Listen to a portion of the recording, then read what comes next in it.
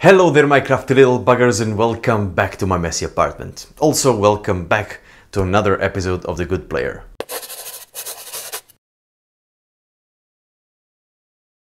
Imagine this. You're playing a character who's been a slave through most of his childhood.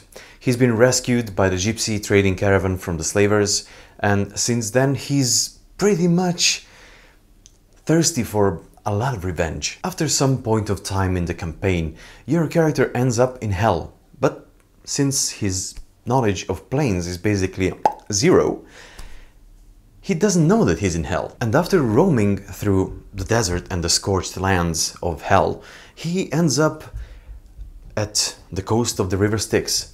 So what he sees is a bunch of souls driven by a few demons, taking them to make other demons.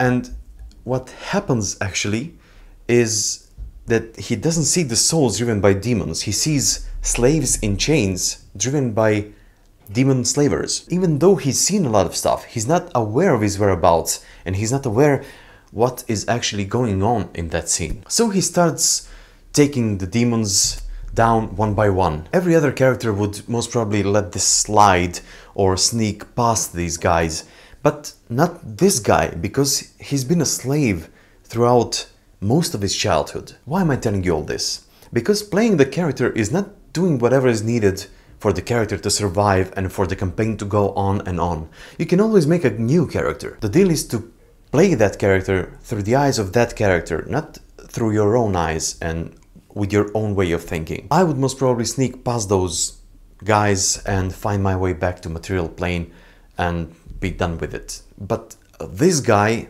no, he wouldn't.